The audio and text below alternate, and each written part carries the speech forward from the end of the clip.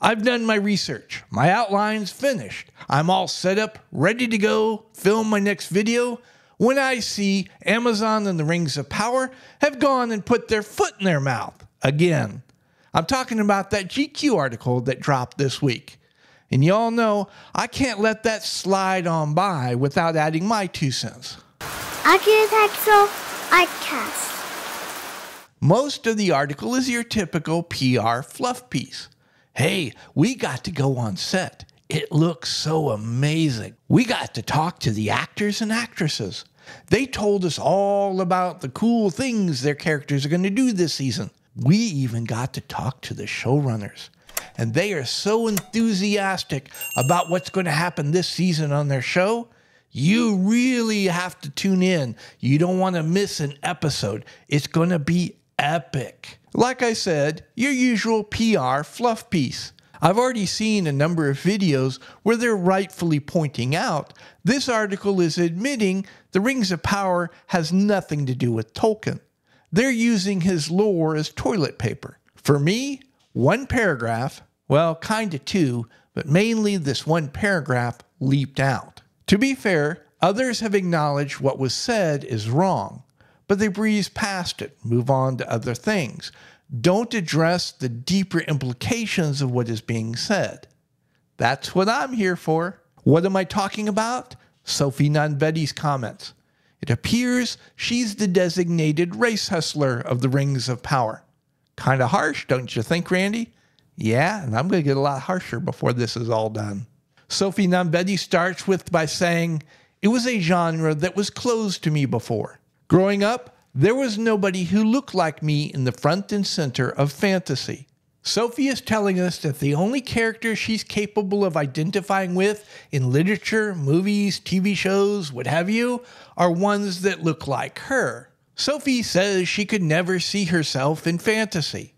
Well, fantasy does have a lot of fantastical creatures elves, dragons, dwarves, orcs, goblins, and such. Okay, Sophie can't see herself in these fantastical creatures.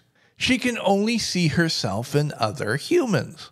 Wait a minute. Humans are everywhere in fantasy. Oftentimes, they're the focus of the story. In The Lord of the Rings, humans are the point. We're at the end of the third age, the age of fantastical creatures, and the beginning of the fourth age, and the rise of men. I got it. I got it. I know what's going on here. Sophie's a woman. She can only identify with other women. No, that doesn't work either. Women are everywhere in fantasy.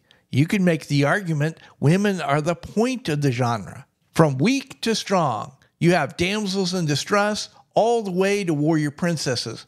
There would be lots of women Sophie could identify with. Maybe Sophie can only identify with a very particular type of human woman. Sophie's Rubenesque. She can only identify with curvy women. No, that don't fly either. Fantasy is full of Rubenesque curvy women. Sophie's pretty specific in what she needs to be able to see herself in fantasy. So what's left? What's left? Sexuality? Yeah, but to the best of my knowledge, Sophie's never really talked about her sexuality. In the next sentence that we're going to be looking at here in a bit, she does say she has a daughter. That implies she's either straight or bisexual. But that doesn't work either because a lot of fantasy, the ones that deal with sexuality, often have lesbian, bisexual women, and they're often portrayed in a very positive light. What's left? What is the thing that is so important to Sophie that she cannot see herself in fantasy unless it's explicitly represented? Her race. Her humanity, her femininity, her physical appearance, her sexuality are all irrelevant. The only thing that matters in being able to identify with a character is if you're of the same race. Sophie, buddy, are you sure that's the argument you want to go with? Because that exact argument has what we like to call a history. A history that people who looked exactly like you were willing to face water cannons, attack dogs, and police batons to the face to put an end to. Let's dissect this argument a little bit, shall we? How are people able to identify with others? whether they be in real life or characters up on the screen or in literature. The word is empathy. We're able to walk a mile in somebody else's shoes. In literature, TV, movies, what have you, a character's life experiences resonate with us on a personal level. We see ourselves in the character, we project ourselves upon the character, and we become the character. For an in depth discussion of how this process can work, look up the works of Joseph Campbell. What Sophie is saying? She's incapable of identifying with, and more importantly, empathizing with anybody who is not of her race. Again, I'm going to ask the question Sophie, are you sure you want to make this argument? We got to go back to the second half of the 19th century. Coming out of evolutionary theory, in some quarters, people started making the argument that some groups of humans had evolved faster and further than other groups. A logical question was asked How do you determine who's superior and who's inferior? All sorts of pseudosciences came along, bumps on the head and other garbage. But one idea stuck inferior people can only empathize with the group, the tribe, the race. Superior peoples can empathize with anyone.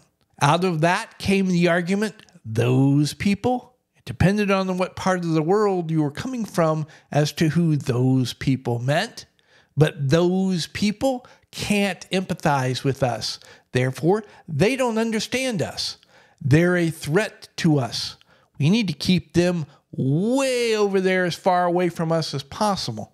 And oh, by the way, they don't deserve the same rights and privileges we have. It was this argument that was used to justify making interracial marriage illegal. A frustrated artist with a funny mustache, in his infamous book, he used this argument to justify his plans. It was this argument that was used to justify segregation and Jim Crow laws in the American South. It was the fight against this idea that led record numbers of African Americans to enlist in the military during World War II. They were willing to die for people that were very different than them. During the civil rights era here in America, people of all colors linking arms, standing up against water cannons, attack dogs, police batons, a very public repudiation of this idea. Martin Luther King Jr.'s letter from a Birmingham jail directly attacks this idea. No, I'm the same as you. I have the same belief system, the same attitudes, the same worldviews. I share the same cultural and religious traditions as you do.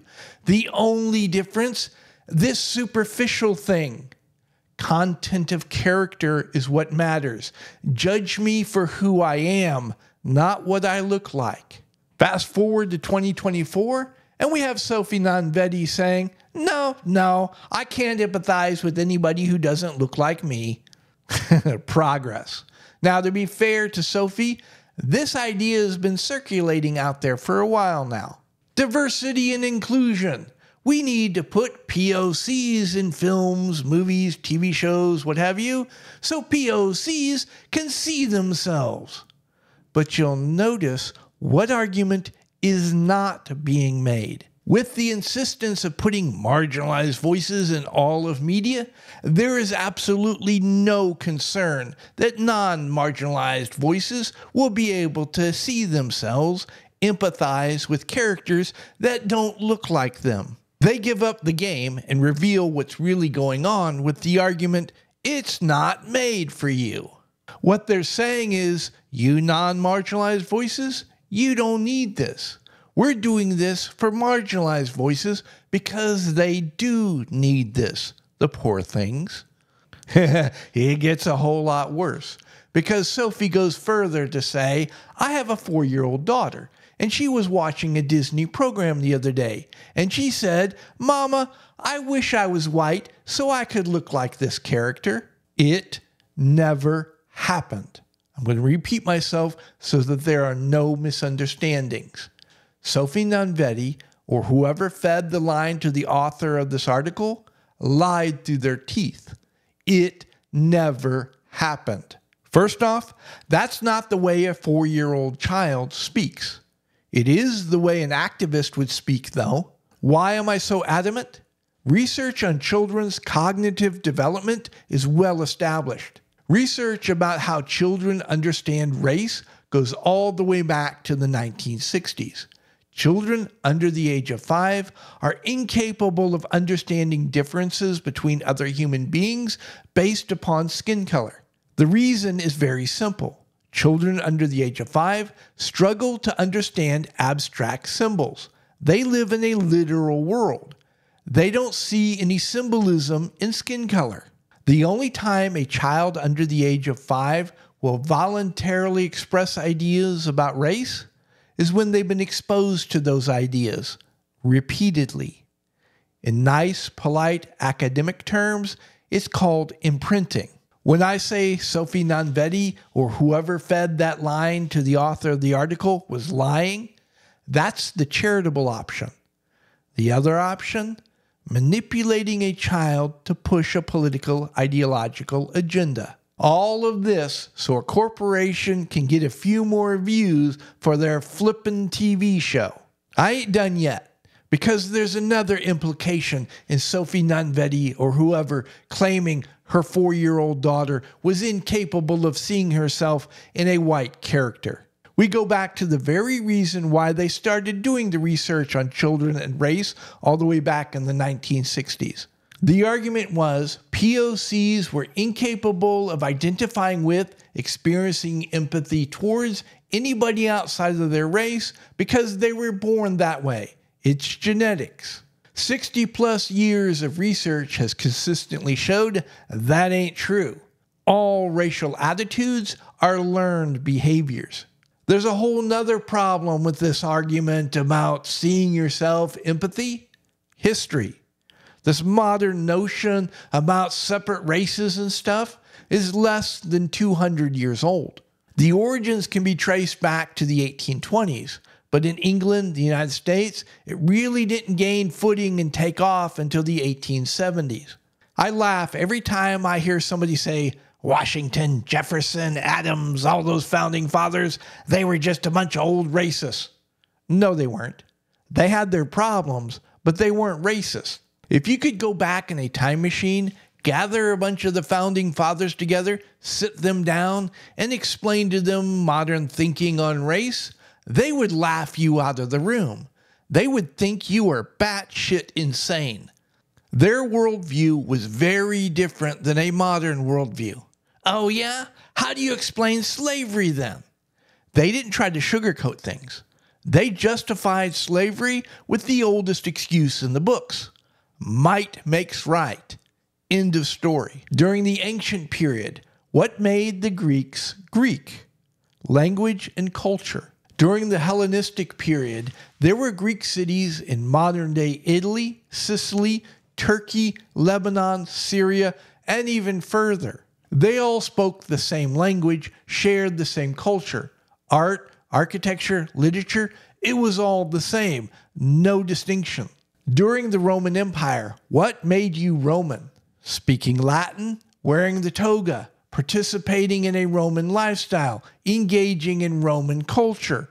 You didn't even have to be from Italy to be the emperor. Ancient China was so huge with so many different groups of people, they didn't have a shared language or a shared culture. So, how did they determine if a group was Chinese or not? You got to give the Chinese credit for pragmatism. It was the robes. If you wrapped your robe with one side on top, you were Chinese. But if you wrapped your robe with the other side on top, that meant you were a barbarian. In Native American culture, children were vital to the survival of a tribe. They were so important that tribes would oftentimes go to war with other tribes to steal their children. Being a member of a tribe had nothing to do with your ancestry and everything to do with the culture you were raised in. This whole argument that the only way you can see yourself being represented in literature, movies, TV shows is if the characters have your same race, sexuality, or whatever checkbox you can think of off of the oppression scorecard is a lie. This idea makes the argument that human beings are incapable of feeling empathy towards each other. It claims the only way we can have a connection with another person is if it's like looking into a mirror. It goes against 60 plus years of consistent research and generations fighting and dying to destroy this insidious, evil idea. This idea defiles the very idea of art. Art is symbolic communication between an artist and the audience. What makes great art is when that symbolic communication cuts across space, time, geography, race, religion, culture, ethnicity to touch the human soul. This foul, evil idea goes against one of the messages, I would argue one of the most important messages, in The Lord of the Rings. Beings of all types putting aside their differences and legitimate gripes with each other to unite to fight against evil. I wonder why some would want to destroy that message. The race hustlers at Amazon, the Rings of Power, and their convenient dupes, Sophie, are wiping their asses with the legacy of Tolkien, wiping their asses with the legacy of Martin Luther King Jr., and wiping their asses with the values that I hold dear. I believe in the philosophy of the great Mel Brooks. You identify evil as evil, and then you mock the hell out of it. Step one, I just spent the last 15, 20 minutes explaining to y'all why I think what Amazon and the Rings of Power is doing is evil. Step two, at any rate, I hope I've given you all something to think about, and until next time, y'all be safe. If y'all are still here, I really appreciate it. Thank you very much. While you're at it, why don't you like this video, subscribe to the channel, click that notification bell. You can hear me mock the hell out of Amazon pretty soon. And while you're at it, feel free to share this video far and wide.